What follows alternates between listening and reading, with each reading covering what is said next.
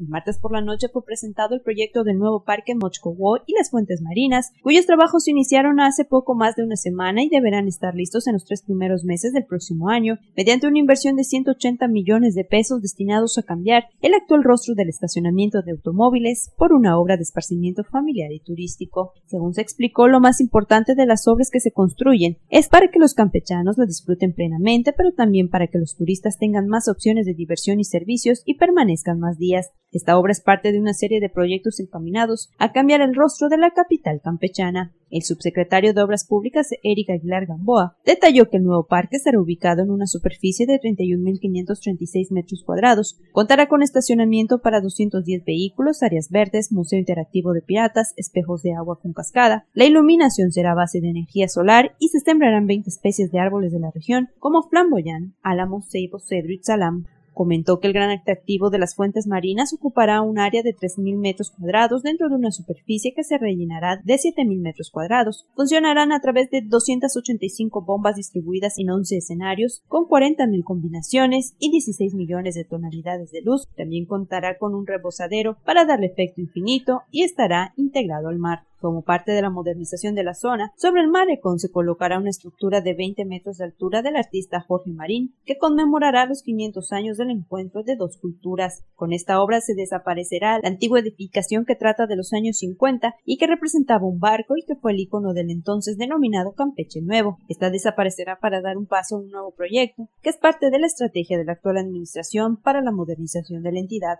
Con imágenes e información de Martina Costa Pacheco, Notivisión.